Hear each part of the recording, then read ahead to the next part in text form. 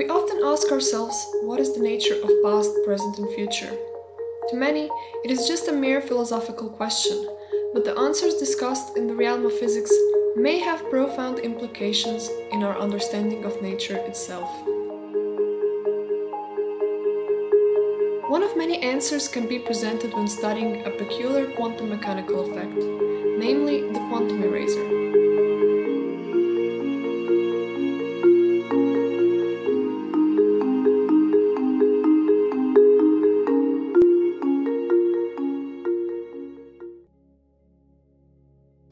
Hello, we are physics master students at the University of Rijeka. With this video, we would like to introduce a very fascinating experiment that we encountered while studying the quantum mechanics, the quantum eraser. One of many answers can be presented when studying a peculiar quantum mechanical effect, namely the quantum eraser. The quantum eraser possesses arguably one of the strangest features of quantum mechanics, changing our everyday interpretation of past events. The astonishing experimental results presented by Kim and his colleagues in 1999, which were proposed by Scully and Druhl in 1982, seem to invoke the so-called backwards in time influence. Consequently, physicists were obliged to contemplate the nature of causality. Before we describe the experiment, let us first remind ourselves of the fundamental principle of quantum mechanics, complementarity. Specific pairs of observables, like position and momentum, are called complementary. Their mutual behavior is governed by the famous Heisenberg uncertainty principle, which briefly says the better we know the position of the particle, its momentum is determined with greater uncertainty, and vice versa. The double slit experiment was proven to be a good testing ground for the above mentioned. The famous physicist Richard Feynman was also intrigued by the study of the double slit experiment, which was famously noted in his statement it is absolutely impossible to explain in any classical way and has in it the heart of quantum mechanics. In reality, it contains the only mystery. The standard double-slit experiment consists of sending particles through a double-slit apparatus, resulting in an interference pattern on a screen behind. The interference pattern will only be generated if each particle traverses both slits. This demonstrates the wave-particle duality clearly, which states that all matter exhibits both wave and particle properties. But if the particle detectors are positioned at the slits, showing through which slit photon or atomic particle goes, the interference pattern will disappear. Why, you may ask? Well, it is impossible to make measurements on the corresponding wave function without disturbing it. The disturbance destroys the interference pattern, and what we effectively see on the screen are two blobs. Here presented the version of the double slit experiment where you can determine through which slit quantum entity passed is called which-way experiment. Another type of double slit experiment considers placing detectors on the far side of the two-slit apparatus. It was named Delayed Choice by John Wheeler. Contrary to the popular belief, the standard interpretation of described events may not always be the full truth. It turns out that there is a way to bypass the Heisenberg's principle and to successfully obtain the wave particle or particle-like information without destroying the interference. This is exactly the job of the quantum eraser. To be clear, the interference is gone once we determine which slit the particle went through, and it reappears when which path information is erased.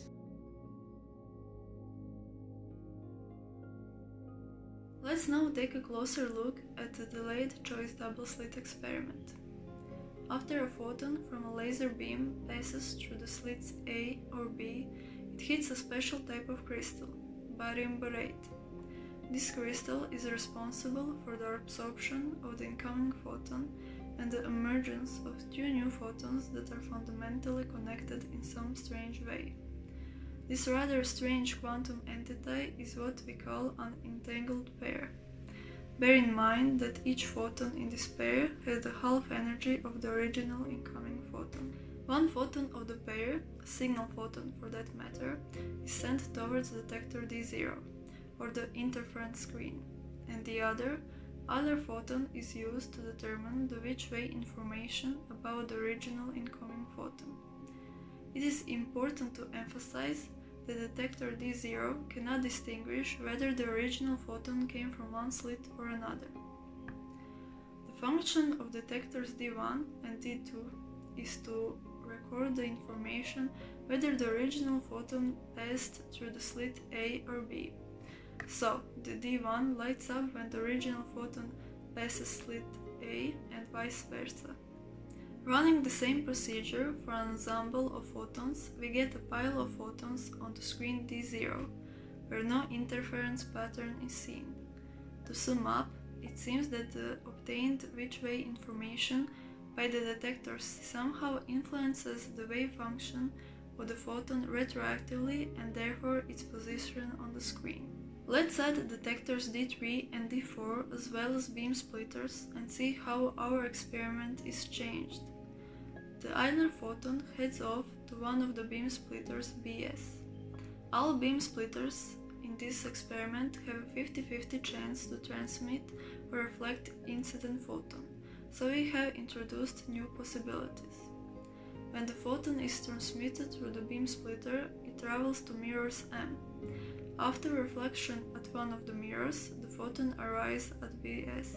If an Idler photon came from the lower mirror, the beam splitter either transmits the photon into detector D4 or reflects it into detector D3.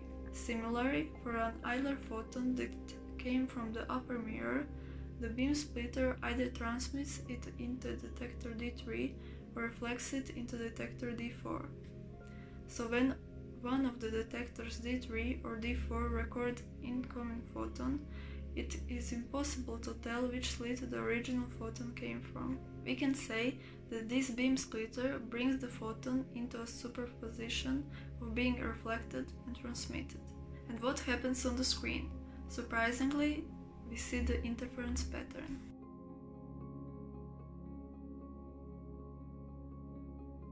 The detectors D3 and D4 are in charge of erasing the which path information, while detectors D1 or D2 provide which path information about both the um, idler and the signal photon. In other words, when we detect through which slit quantum entity went through, we can certainly say that it went through one, no both slits, but when we measure its momentum, we cannot know which slit was transversed.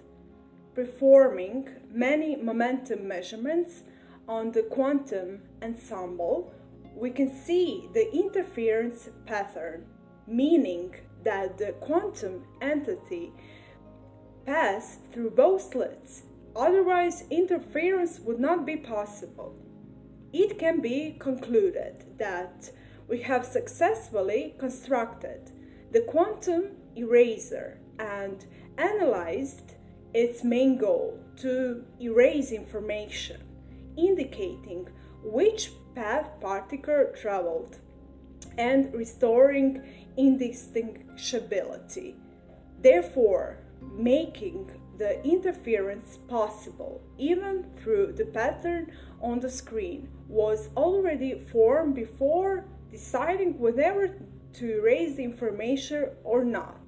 So the question is, does quantum eraser send information back in time?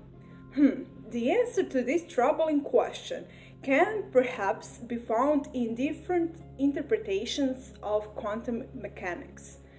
The generally accepted Copenhagen interpretation conventionally avoids non-locality as an explanation for the alternation of the entangled particle wave function by a distant measurement, substituting it by a rather unnatural postulate metaphysical explanation, namely an instantaneous collapse of the wave function. A more appropriate interpretation when analyzing the delayed choice double slit experiment may be de Broglie-Bohm pilot wave uh, theory, where um, non-locality, hidden variables, and determinism play the central role. As it can be shown in hidden variable approach, the many questions posed here are result. In this interpretation, the quantum entities have well-defined trajectories and the conventional, conventional um, way of thinking about the past is restored. Does this result mean that present choice influence past dynamics in contravention of every formulation of causality? Or does it mean calculate pedantically and do not ask questions? Neither. The lesson presents itself rather like this that the past has no existence except as is recorded in the present.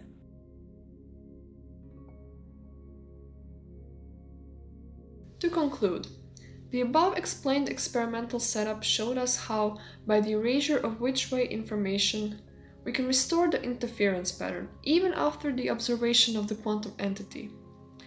But there is no need to invoke retrocausality to explain the delayed choice experiment. The many worlds interpretation of quantum mechanics has a simple answer without traveling in time. After all, it seems that we are stuck in the eternal debate over many different interpretations, falling short to drive ourselves to appropriate conclusion. Nevertheless, the delayed choice quantum eraser is a useful thought experiment to contemplate the fascinating role of entanglement and complementarity in quantum physics. This video was presented by Lara, Emma, Julia and Doris, master students at the Department of Physics, University of Rijeka.